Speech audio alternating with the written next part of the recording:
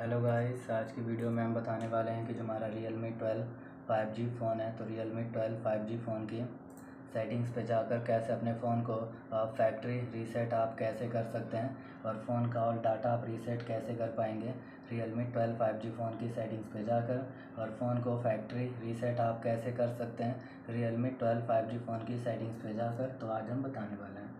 कि फ़ोन को factory reset आप कैसे कर सकते हैं और कैसे आप रीसेट कर पाएँगे?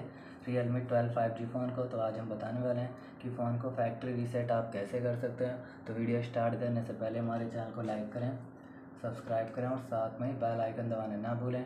तो वीडियो स्टार्ट कर लेते हैं। तो आप देख सकते हैं कि आइकन हैं शो हो रहे हैं। तो आपको स्वाइप करना है। स्वाइप करते ही आइकन से ओपन हो जाएँगे।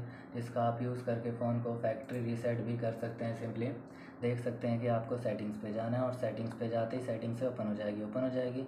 तो आप एडिशनल सेटिंग्स पे जाते हैं तो आपको यहाँ पर ऑप्शन मिल जाएगा रीसेट रीसेट पे जाकर जैसे आप इरेज ऑल डाटा पे जाते हैं एंड पासवर्ड डालते हैं और इस पर क्लिक कर देते हैं तो फ़ोन आपका फैक्ट्री रीसेट हो जाएगा और फैक्ट्री रीसेट होते ही शुरू से स्टार्ट हो जाएगा। तो इस तरीके से भी फ़ोन को फैक्ट्री रीसेट आप कर सकते हैं रियल में।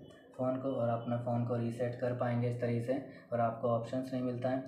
तो देख सकते हैं कि आप यहाँ से, आप यहाँ से सर्च करके भी फैक्ट्री रीसेट कर सकते हैं। फैक्ट्री